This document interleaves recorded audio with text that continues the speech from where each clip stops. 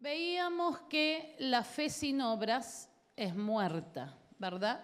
Y dijimos que no eran obras para merecer la salvación, sino obras que por ser salvos ya por gracia, hacemos obras de gratitud al Señor.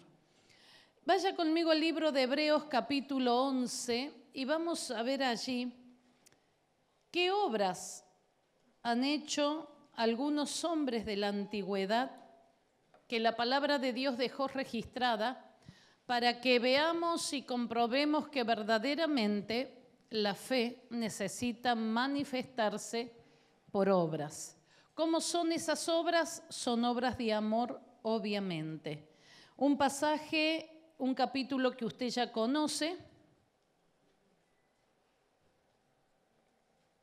Hebreos 11, y mm, comenzamos del versículo 1 y dice, es pues la fe la certeza de lo que se espera, la convicción de lo que no se ve. Por ella alcanzaron buen testimonios los antiguos. Ahora, escuche todo lo que fue sucediendo precisamente como una obra de la fe. Dice, por la fe entendemos haber sido constituidos el universo por la palabra de Dios.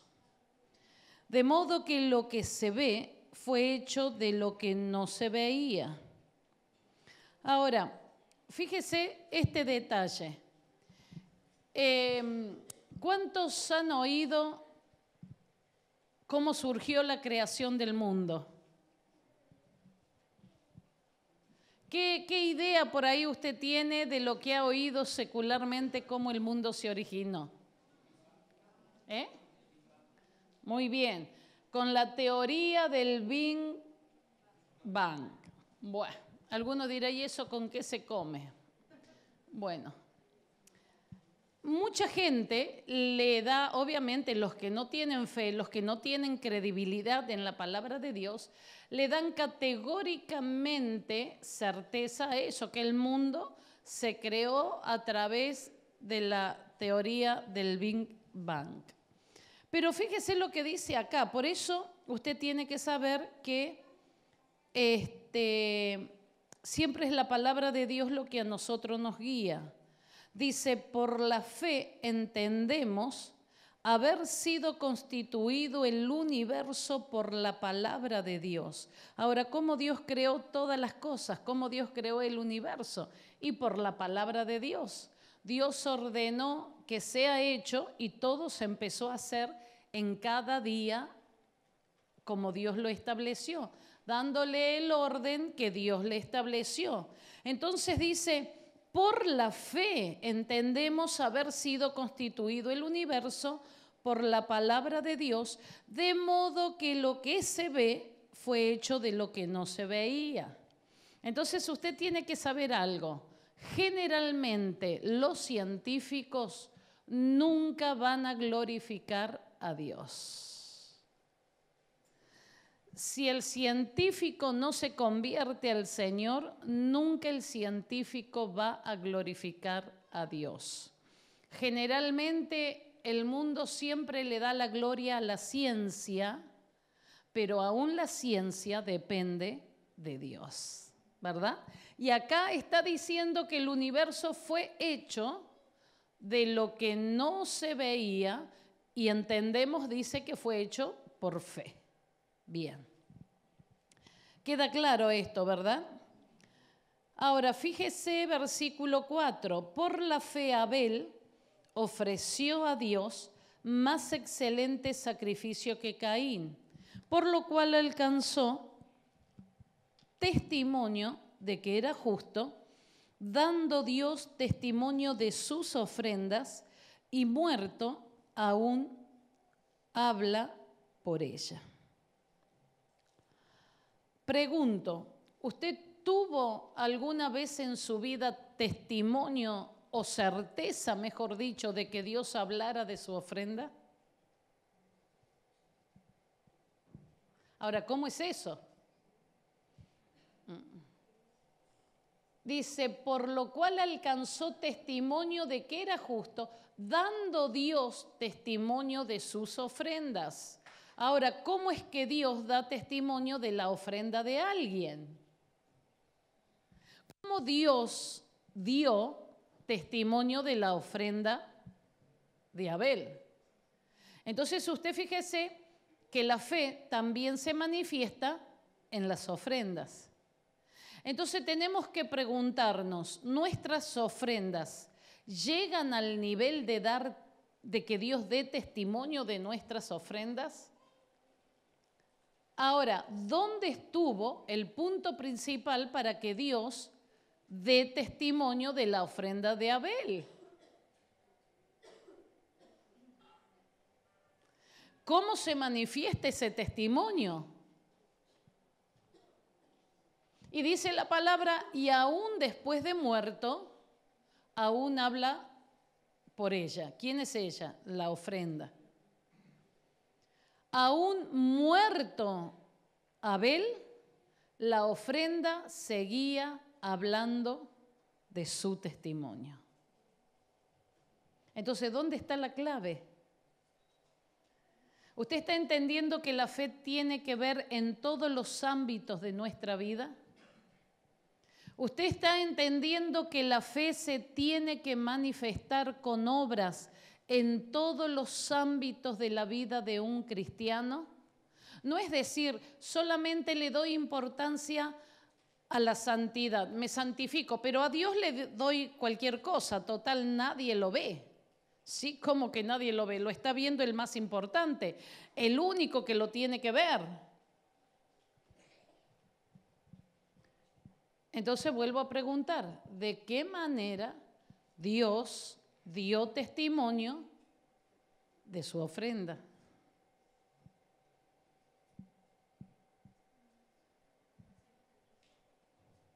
¿Cómo? Haciendo justicia. Puede ser. ¿Cómo?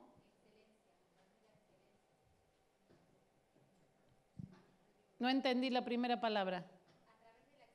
A través de la excelencia. Bueno, convengamos que la ofrenda de Abel era muy buena, era excelente, era lo mejor que se le podía dar a Dios en ese momento. No tenía desperdicio, no tenía defecto Abel se encargó de entre todos los animales buscar el animal perfecto para Dios. Ahora, ¿por qué buscó el animal perfecto? ¿Sabe por qué? Porque esa era la actitud de su corazón para Dios. ¿Cómo era el corazón de, Dios, de, de Abel para Dios? Era un corazón perfecto. Entonces, Pongamos atención a esto. Como esté nuestro corazón, es lo que le vamos a dar a Dios y lo que vamos a hacer con Dios. Por eso hay gente que le da a Dios la sobra, porque eso es lo que hay en su corazón. Por eso siempre Dios mira el corazón en todas las cosas. En todas las cosas Dios mira el corazón porque de la actitud de su corazón es lo que usted va a hacer con sus manos, es lo que usted va a hacer por Dios y para Dios. Entonces, aún así, usted le puede dar una gran suma al Señor, pero si su corazón no está alineado a Él, tampoco sirve. Tampoco sirve. Porque esta ofrenda habló del testimonio de Abel. Porque dice la palabra que aún después de muerto, su sangre clamaba desde la tierra por justicia. Ahora, usted imagínese para que una sangre hable, la única sangre que habló fue la de Jesús. pero la de Abel habló desde la tierra clamando a Dios por justicia. Porque el acto de, de, muerte que se cometió con Abel no era más que por otra cosa que por envidia de un hermano poseído por Satanás. ¿Me está entendiendo? Ese fue eh, todo el motivo. Ese fue todo el motivo. Ese fue el primer asesinato que se cometió en la tierra. Entonces dice, Dios dio testimonio de sus ofrendas. Claro, tuvo varias, pero la que detonó ese desenlace fatal, obviamente fue la última que Abel pudo dar. Pero no quiere decir que esa ofrenda fue la única ofrenda buena de Abel. Toda su vida fue de ofrenda excelente a Dios. ¿Por qué? Porque su corazón estaba alineado a la palabra de Dios. Eso es lo que tenemos que entender. Que cuando nosotros aprendemos a alinearnos a la palabra de Dios, todas las cosas las tenemos que empezar a hacer bien. No solamente cuando yo estoy bien, entonces hago bien las cosas. Pero cuando estoy mal, hago así nomás porque total estoy mal. No, Señor. Lo que ya se le reveló, usted lo tiene que hacer bien siempre, porque ya se le reveló cómo funciona. ¿Me está entendiendo? Entonces, para que Dios dé testimonio de la ofrenda de alguien,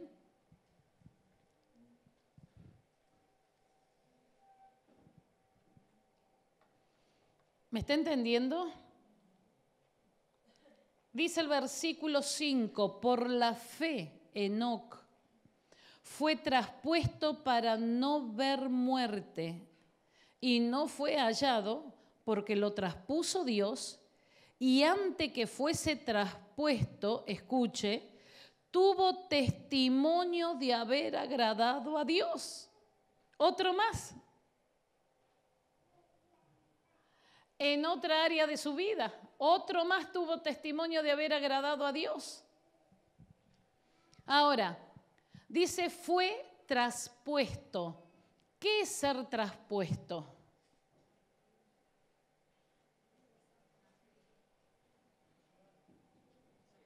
Mire si Dios lo hiciera con usted.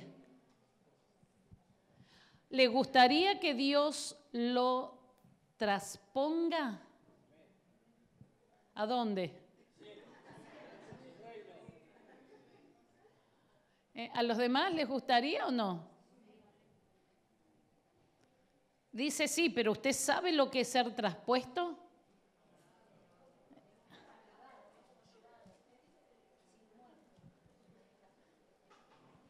No, traspuesto no es ser trasladado, porque usted y yo para trasladarnos necesitamos un medio una bicicleta, una moto, un auto, un monopatín, un avión, un colectivo, un camión. Necesitamos un vehículo. Si no, de otra manera no podemos ser trasladados. O simplemente en el 2, pero no va a llegar muy lejos. Enoch fue traspuesto. ¿Qué quiere decir traspuesto? Desapareció de donde estaba y apareció en otro lugar. Eso es ser traspuesto. Desaparece y aparece en otro lugar. Hay otro más que fue traspuesto que Dios lo traspuso para Felipe, que todos los que se han bautizado ya lo han visto hace muy poquito, ¿verdad? Entonces dice, por la fe Enoch fue traspuesto para no ver muerte y no fue hallado. Escuche, desapareció de la tierra y en la tierra no se lo halló más. ¿Por qué? Porque lo traspuso Dios, se lo llevó al cielo. Ahora, Enoch fue tan grande su testimonio de haber agradado a Dios que dice que de esta vida pasó a vida eterna sin ver muerte. Lo traspuso Dios, lo sacó de la tierra y apareció en el cielo. Ahora, usted está entendiendo que para creer esto hace falta fe, ¿verdad? Por eso el que no es hombre o mujer de fe piensa y dice, Eso es puro cuento, ¿qué va a ser eso?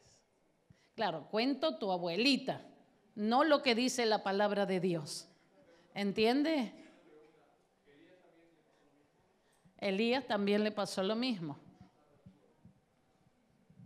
O sea que hay gente que ha entrado a los cielos sin haber muerto. Claro. En ese vuelo así de desaparecer y aparecer en el cielo, obviamente tiene que ser transformado para poder entrar al cielo porque carne, sangre y hueso no hereda el reino de los cielos. Pero de eso ya se encarga el Señor. A nosotros no nos importa ni cómo, ni cuándo, ni en qué momento. No nos interesa. Pero Él lo hace. Entonces, a la venida del Señor, al arrebatamiento, usted tiene que saber que hay gente que va a vivir exactamente lo mismo. Hay gente que no morirá y será traspuesta. Por eso dice los vivos, en ese momento, dice, seremos transformados. Entonces pasaremos de esta vida a vida eterna. Y los muertos en Cristo resucitarán. Pero los que estemos vivos para la hora del arrebatamiento, no moriremos, seremos transformados y pasaremos exactamente la misma experiencia. Uh, gracias por su amén. mire, me da gana de saltar con su amén. O sea, ¿usted está entendiendo lo que estoy diciendo? Y tiene una cara de muerto que, que me aterroriza la cara de muerto que usted tiene. Mire la noticia que le estoy dando y usted me mira. Por favor. Le voy a dar la nueva oportunidad, mire. Vamos a hacer cuenta que no dije nada y le voy a dar la oportunidad. La Biblia dice que los que estemos vivos para la hora del arrebatamiento, no gustaremos la muerte, sino que pasaremos de vida a vida eterna, seremos arrebatados vivos y seremos transformados en el aire para heredar el reino de los cielos. Eh, muy bien, a mí me gusta. Bueno. Está bien, estaba dormido. Dios mío, esta gente. Dios mío, me voy a ir a predicar afuera, mire, porque usted me está haciendo renegar demasiado ya. Entonces, eh, esto es glorioso. Ahora, eh, yo entiendo seguramente que a todos nos pasa esto, que nuestra mente es tan finita, es tan limitada, que no vemos esa tremenda dimensión de lo que aquí está escrito, obviamente. Porque uno dice, todos vamos a morir. Claro, entonces uno se imagina que muere, que es sepultado y cuando viene el Señor las tumbas se abren y de allí van a salir esas almas, esos cuerpos renovados, transformados y van a volar al encuentro del Señor. Pero no entra en nuestra mente humanamente hablando, el decir cómo de acá con vida vamos a, subir con vida al Señor sin ver la muerte acá. Claro, esas son cosas de fe. Por eso tenemos que ejercitar la fe y creer a lo que dice la palabra, aunque no se entiendan ciertas cosas como esta, porque si está escrito, el que da garantía de lo que está escrito es Dios no es un cuento como para entretenernos. Entonces dice, antes que fuese traspuesto, tuvo testimonio de ver agradado a Dios. Y dice después, y se lo llevó Dios.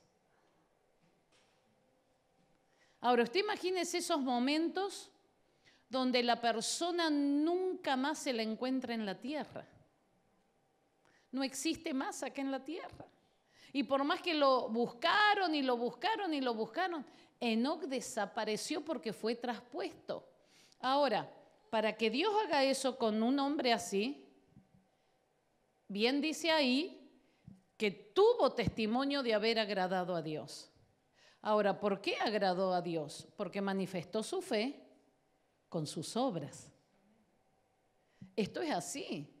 No podemos decir tengo fe y no tener obras para el Señor. Veamos a quién más sigue mencionando acá. Versículo 6. Pero sin fe es imposible agradar a Dios. Es imposible. Por eso dice que el que se acerca es necesario, el que se acerca a Dios, que crea que Dios está y que es galardonador de los que le buscan. Ahora, ¿qué es un galardonador? Galardonador. ¿Qué es un galardonador? Porque usted tiene que entender cuando lee, porque si usted lee y no entiende, queda sin edificación. Porque es necesario que el que se acerca a Dios crea que le hay, que le hay que, que hay Dios y que sus oídos están atentos a su clamor y que es galardonador de los que le buscan. Galardonador es lo mismo que decir recompensador, el único que trae recompensa para su vida, el único que trae un galardón. ¿Y un galardón qué es? Es un premio, es un mérito obtenido. El único que puede galardonar la vida de un hijo de Dios es Él. Pero ¿a quiénes Él va a galardonar? A los que le buscan, nada más, a los que le buscan. Y sigue diciendo, acá vamos con otro que hizo obra. Por la fe Noé, cuando fue advertido por Dios acerca de cosas que aún no se veían, mire qué glorioso que es esto, ¿no? Noé fue advertido por Dios acerca de cosas que aún no se veían con temor preparó el arca en que su casa se salvaría. Ahora, ¿de qué manera Dios le advirtió? Hablándole, dándole el mensaje. Ahora, el mensaje que Dios le dio a, a, Noé era un mensaje bastante increíble para aquella época. Era una época donde no se conocía la lluvia, nunca había llovido. Lo único que caía era rocío del cielo, nada más. La gente no conocía lluvia. Y Dios le viene con un mensaje, no que venía la lluvia, que venía un diluvio y que iba a cortar a la tierra por la maldad. Ahora, ¿cómo se hace para creer un mensaje así? Que nunca había llovido y que Dios le habla diciendo que viene un diluvio, que prepare el arca donde se salvaría él y su familia y punto. Entonces usted imagínese cuando Noé empieza a alertar al pueblo, cuando Noé empieza a dar este mensaje, es lógico que también en este tiempo pasaría, la gente se empezó a burlar de él. La gente se empezó a burlarse de todas las maneras posibles. Ahora, hay que creer a Dios verdaderamente para construir un arca de semejante tamaño con las formas que Él le dio. Y ahí, mientras Él construía, tenía toda la gente riéndose y burlándose. Haga de cuenta, trate de ver en su mente su vida. ¿Usted qué haría? Cada día, cada día, fueron años la construcción del arca. Fueron años. Y cada día todos los burladores de la ciudad se iban ahí donde eh, Noé y sus hijos construían el arca y se le mataban de risa y las barbaridades que le decían de él y de su Dios. Y sin embargo él se mantuvo firme. Ahora, traslade esa actitud a usted hoy, con los burladores de hoy, con sus compañeros y quizás parientes y familiares burlistas hoy. Todos aquellos que están siendo usados por el enemigo para tratar de frenar su obra en Dios. Piense, años llevó la construcción del arca y Noé no, bajó los brazos. Ahora, usted permanecería en esa condición en medio de tantas burlas día tras día, día tras día, y los años iban pasando. Claro, Dios también sabía cuándo el diluvio venía. Dios tenía que esperar que el arca estuviera terminada. Y metió los animales para que la vida pueda seguir reproduciéndose. Los animales entendieron la orden de Dios y los hombres, entre comillas, que están hechos a imagen y semejanza de Dios, no entendieron el mensaje. Y de cada animal, una pareja fue entrando al arca. Ahora, ¿quién les puso a los animales el entrar al arca?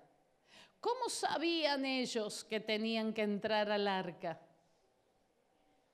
Y los hombres se burlaban, no creyeron. Y los animales entraron. Entraban por pareja, apareados de a dos, para que después la misma especie continuara una vez que el diluvio haya pasado. ¿Por qué los animales obedecen y los humanos no? ¿Quién tiene más capacidad? ¿El hombre o el animal? E-, esto es terrible. Un asno le habló al profeta, a Balaam. El, el, asno vio, vio, esto es terrible, a mí me daría vergüenza, ¿qué quiere que le diga? El asno vio la presencia del ángel y se frenó. Y el profeta no lo vio, Balaam. Entonces el profeta empezó a latigar al asno, porque el, asno se frenó, no continuó. Entonces el asno se da vuelta y lo mira a Balaam, le dice, ¿por qué me pegas? ¿No ves que está el ángel delante? ¿Cómo querés que cruce? ¿Usted qué hace si el animal le habla?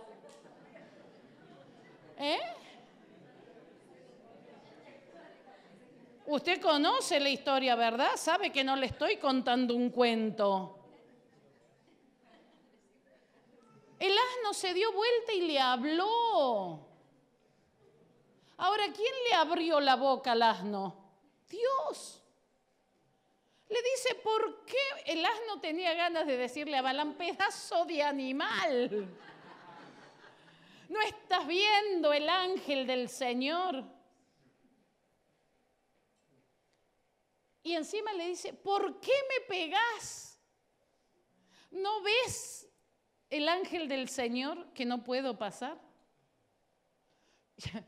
Yo me imagino, ¿no? Mientras yo leo, cuando leo cosas así, yo me imagino mientras leo. Ahora, ¿cómo se habrá sentido el profeta frente a semejante escena? Que un animal hable y le diga al profeta, ¿no estás viendo al ángel del Señor? El, profeta no lo veía y el animal sí. Entonces pregunto yo, no sé, usted saque las conclusiones, ¿cuál de los dos era más animal?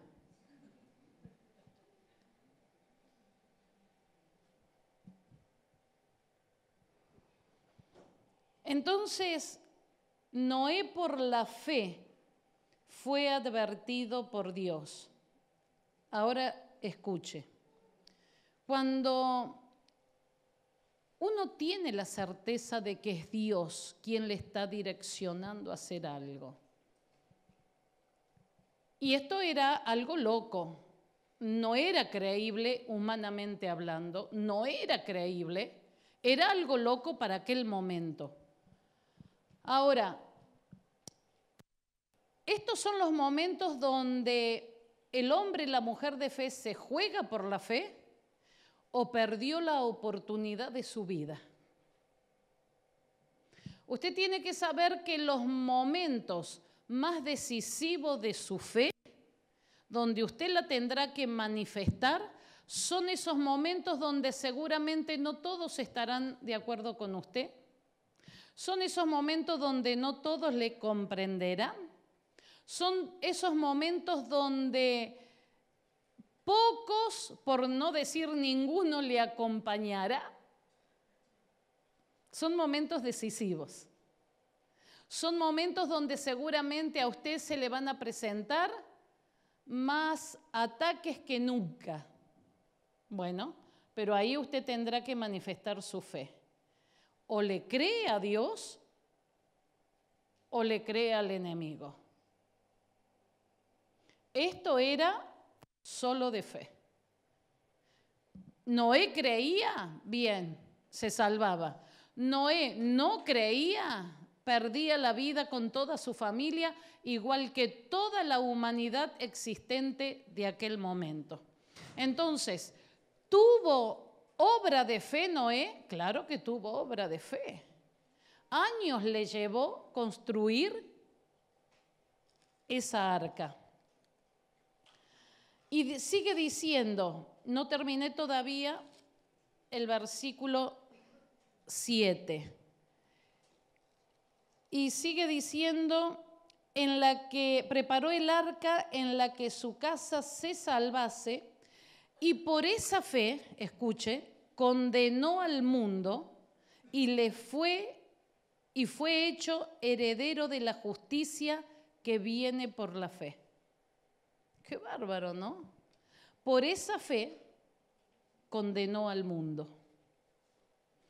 Uno que le cree a Dios es suficiente para que Dios pueda trabajar por medio de ese.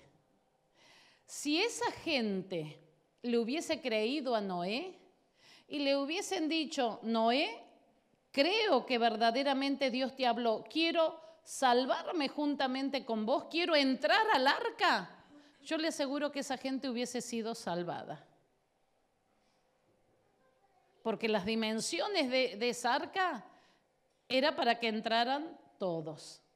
Pero dice, solamente ocho personas se salvaron. Noé, la esposa, los tres hijos y las tres nueras. Ocho personas fueron salvadas. Toda, todo un pueblo se perdió. ¿Por qué? Porque la fe de Noé hizo que condenara al mundo existente de aquel momento. Entonces, cada vez que usted le cree a Dios y su fe se ponga en acción, bueno, va a dejar sin efecto la incredulidad del otro y quedará condenado. Fíjese lo que pasó con Abraham. Por la fe Abraham, siendo llamado, obedeció para salir al lugar que había de recibir como herencia y salió sin saber a dónde iba. Salió sin saber a dónde iba. ¿Usted sale a algún lado sin saber dónde va?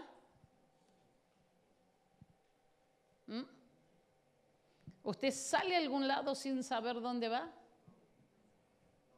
¿Y por qué Abraham sí?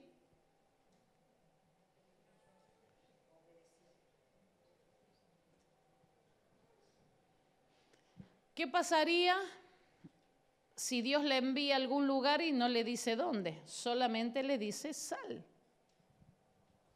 Sal de tu casa, sal de tu parentela y yo te voy a guiar. Pregunto, ¿cuántos de acá lo harían? ¿Cuántos de acá lo harían? Vio que no es fácil, ¿no? Vio que hay muchos que no pueden decir amén, porque no están dispuestos. Porque lo primero que se le cruzó, y mi marido que no es creyente, y el trabajo, y las deudas, y los chicos, y el colegio, y cómo hago.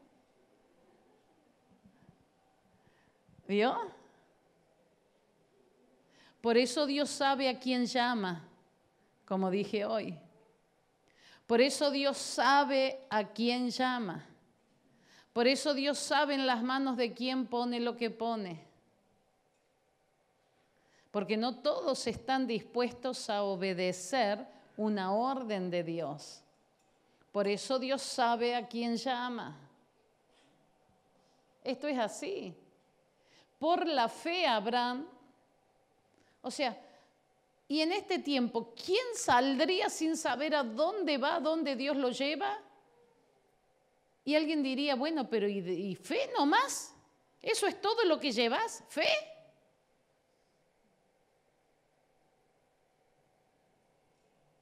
La obediencia te va a añadir todo lo que hace falta. Salió sin saber a dónde iba. Por la fe Abraham siendo llamado, ah, ese ya lo leí, el 8, el 9. Por la fe, escuche, habitó como extranjero en la tierra prometida como en tierra ajena, morando en tiendas con Isaac y Jacob, coherederos de la misma promesa, porque esperaba la ciudad que tiene fundamento cuyo arquitecto y constructor es Dios. Por la fe también, la misma Sara, estas cosas no pueden pasar si no es por fe. Por la fe también la misma Sara, siendo estéril, recibió fuerzas para concebir. Por la fe. Y dio a luz aún fuera del tiempo de la edad, porque creyó que era fiel quien lo había prometido. Ahora, si hoy en día se viera una mujer de 90 años embarazada, ¿qué se diría de esa mujer?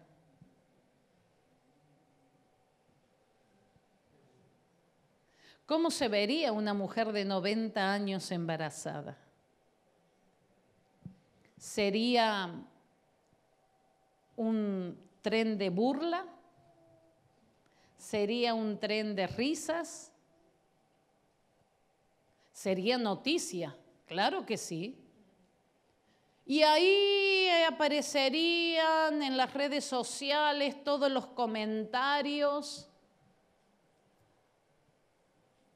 de una mujer de 90 años embarazada. Y las barbaridades que la gente diría hoy en día. Pero ¿cuántos lo verían como un propósito de Dios? Bueno, imagínense en aquel momento. Sara por la fe, siendo estéril, tuvo un hijo fuera de la edad, porque creyó que era fiel quien lo había prometido. Ahora, si ella era mujer de fe, bueno, algo tenía que hacer. Y acá ya no se trataba de una intimidad humana, porque ya no había más nada que hacer por ese lado.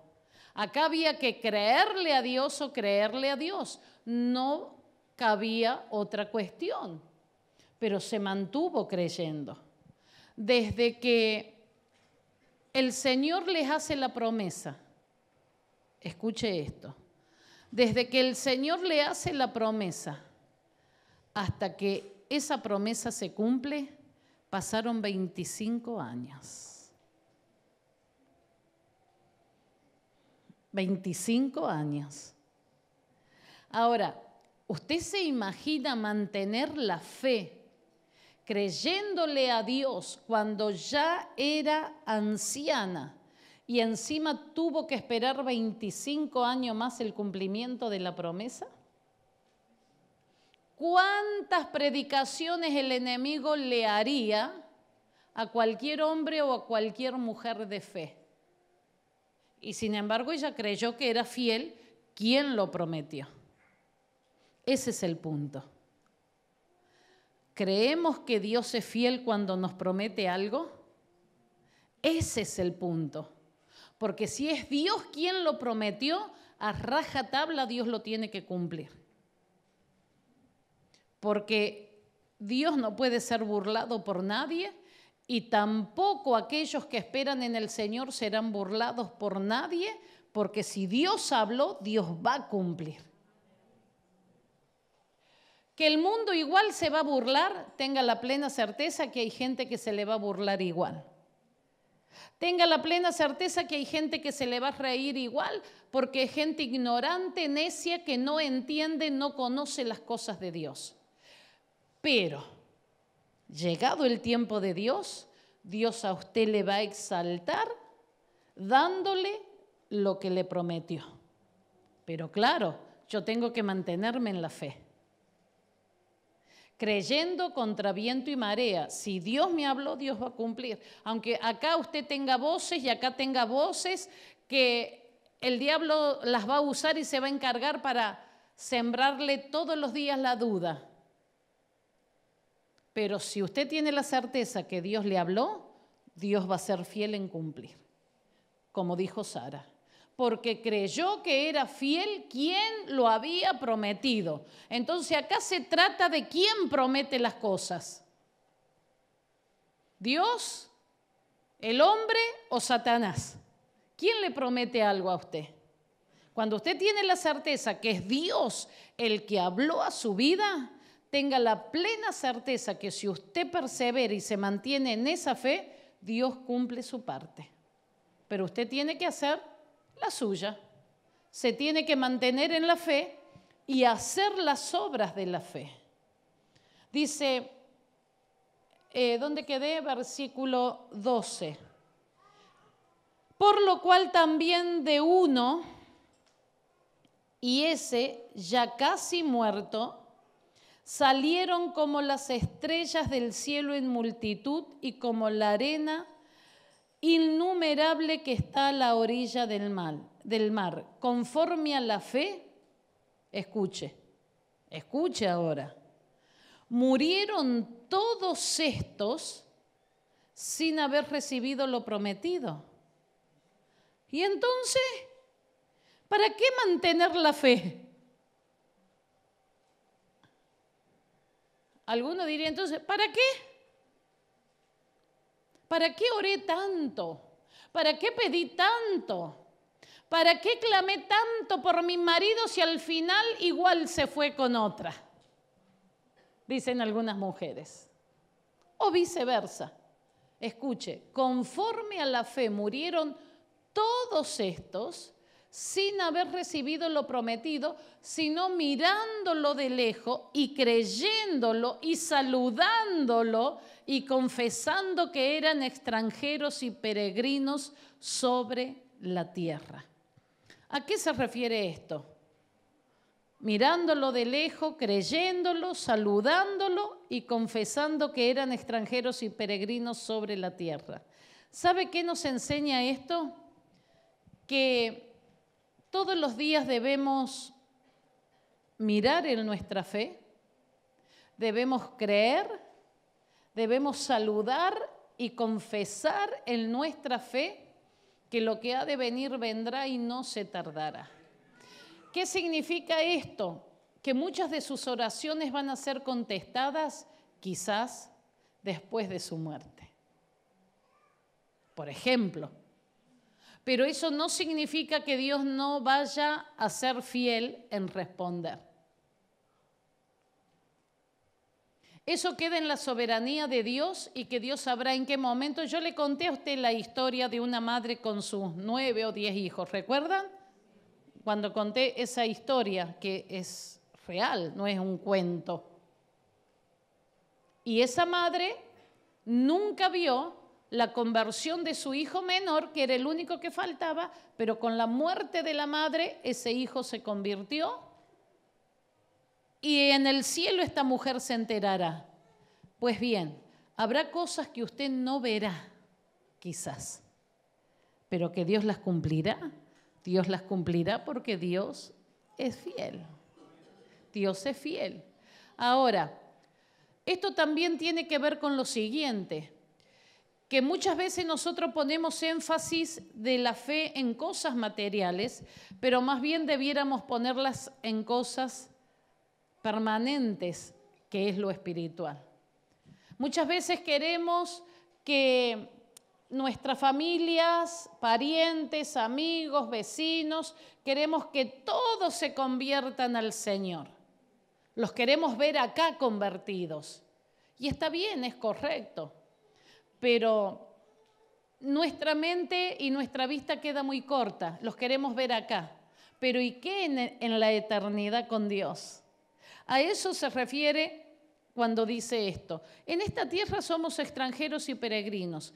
Perfecto, estamos de paso. Acá es donde debemos entregarnos al Señor y vivir para Él. Pero en realidad esto es corto, es poco, se acaba en breve. En cambio, la eternidad ha de durar para toda la vida. Entonces yo en mi fe los tengo que seguir viendo en la eternidad.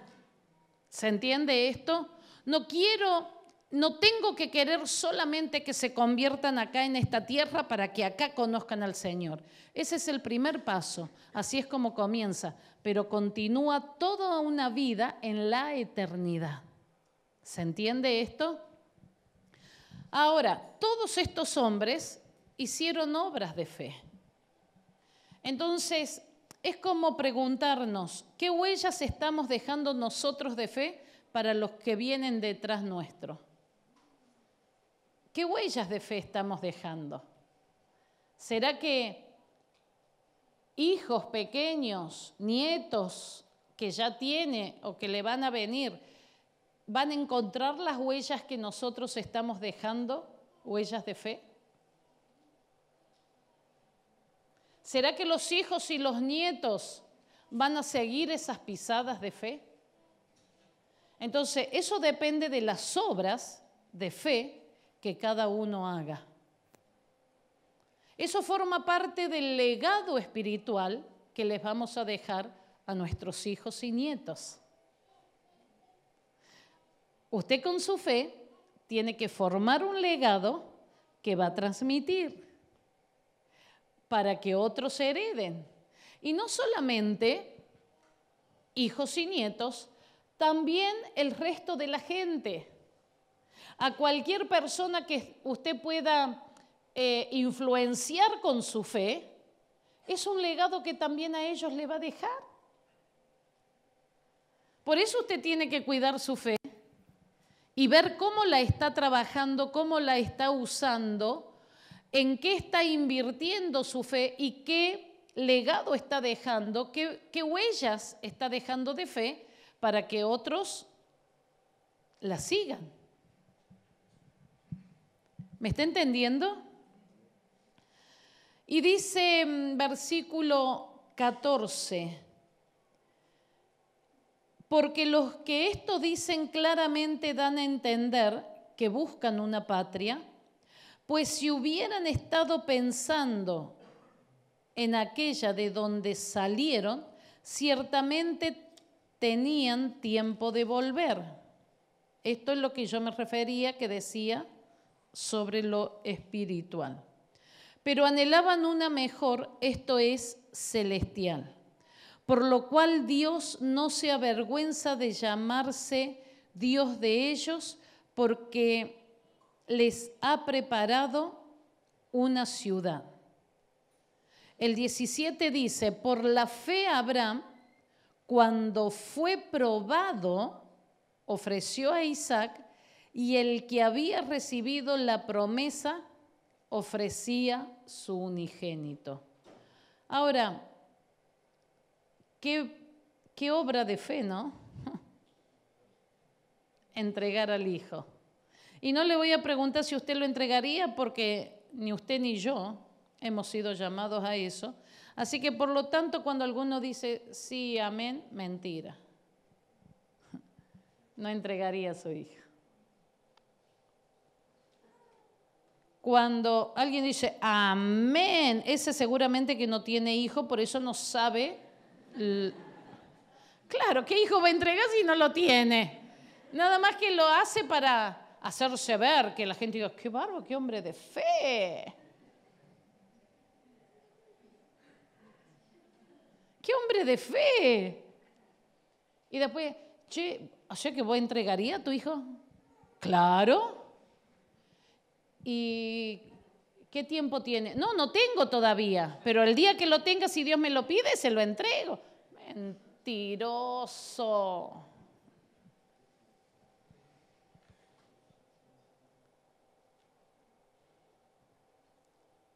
Dice el versículo 20, por la fe bendijo Isaac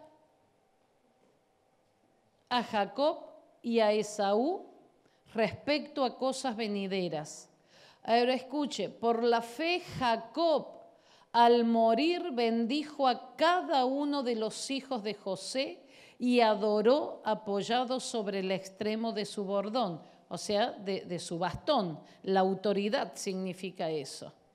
Por la fe José al morir mencionó la salida de los hijos de Israel y dio mandamiento acerca de sus huesos. Por la fe Moisés, todo esto se hizo por la fe. Por la fe Moisés cuando nació fue escondido por sus padres por tres meses porque le vieron niño hermoso y no temieron el decreto del rey. Por la fe Moisés, hecho ya grande, rehusó llamarse hijo de la hija de Faraón, escogiendo antes ser maltratado con el pueblo de Dios que gozar de los deleites temporales del pecado. Eso es una obra de fe. Abandonar la posición económica de la que gozaba por ir a sufrir junto a sus hermanos de fe.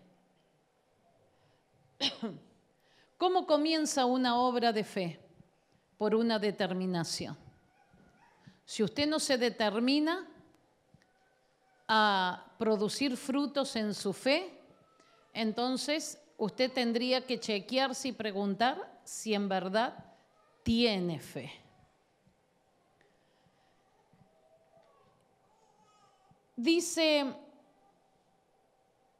versículo 26, teniendo mayores riquezas que el vituperio de Cristo, que los tesoros de los egipcios, porque tenía puesta la mirada, ¿dónde?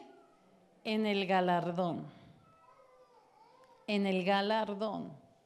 Por la fe dejó a Egipto, no teniendo no temiendo la ira del rey, porque se sostuvo como viendo al invisible.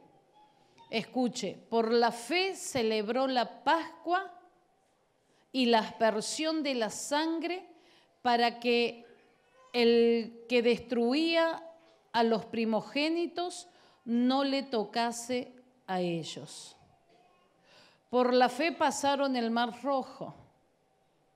Hmm obra de fe. Y termina diciendo, por la fe cayeron los muros de Jericó. Obras de fe.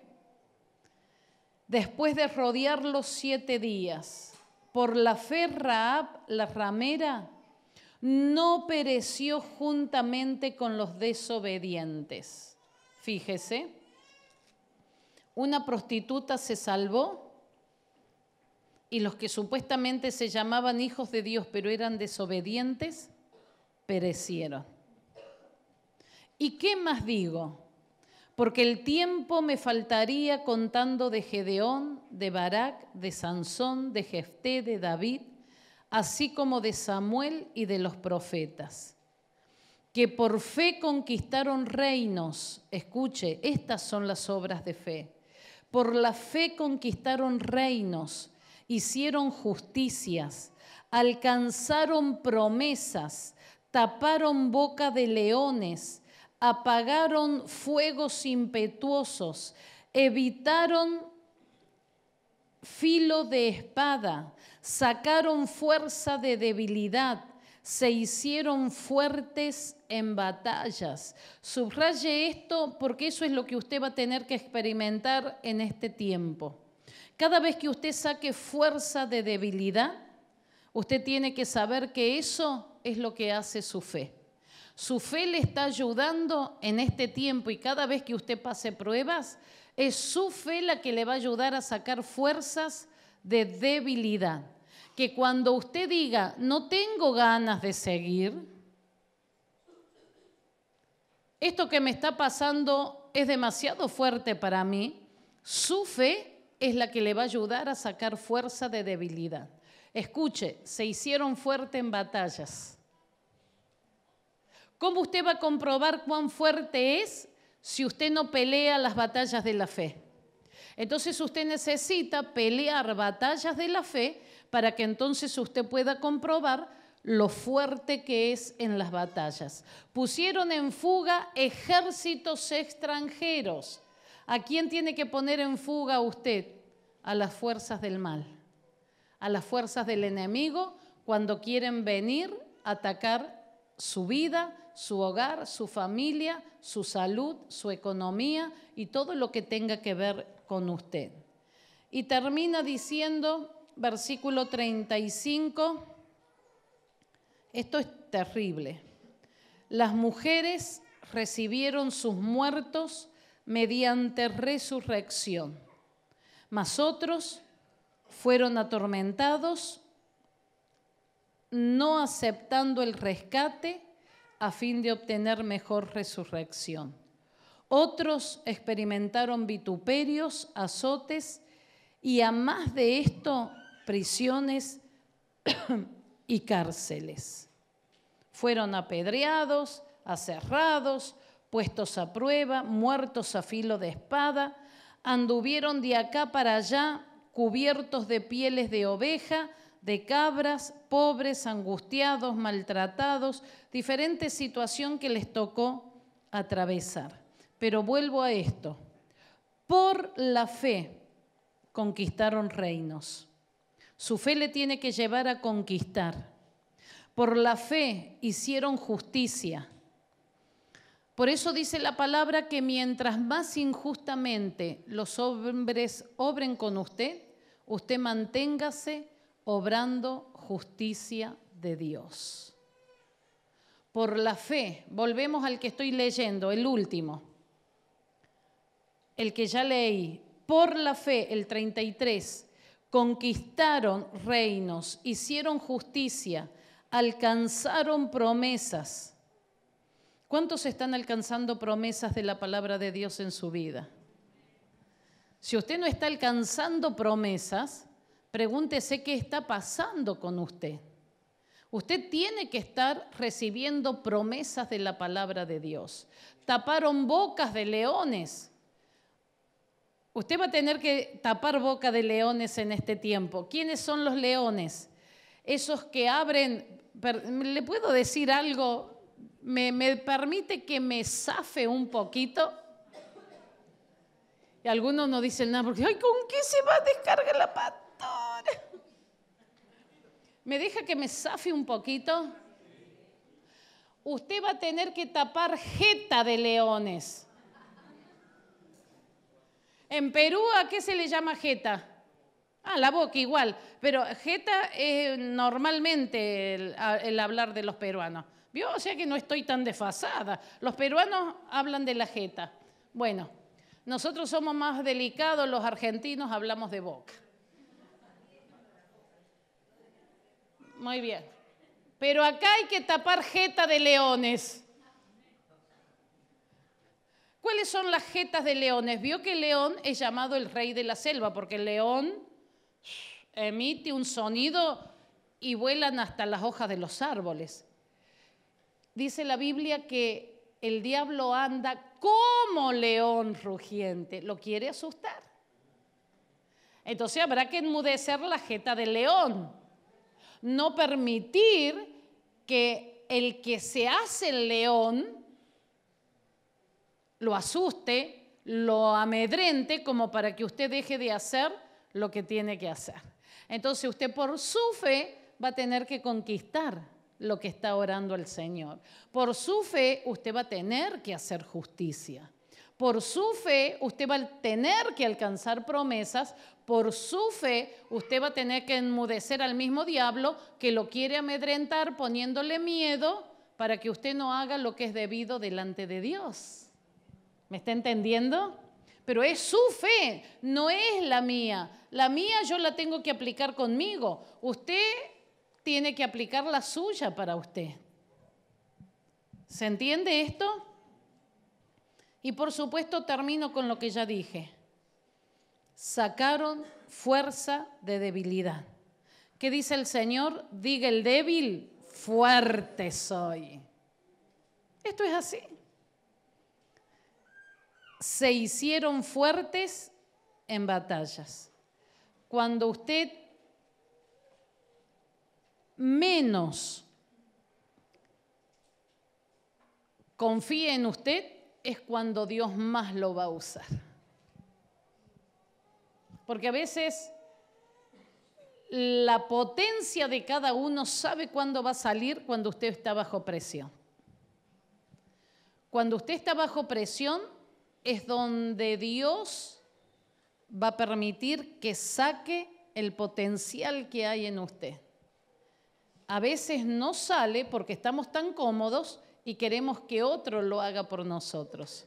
Pero cuando usted ve que a su costado no hay nadie, delante no hay nadie, detrás no hay nadie y está solita su alma con el Señor, usted tendrá que sacar ese potencial para pelear en batalla y ser más que vencedor. Su fe es la que le va a llevar a buen puerto, su fe. Por lo tanto, usted es el responsable de alimentar su fe, cuidarla y hacerla empoderar por medio de la palabra de Dios.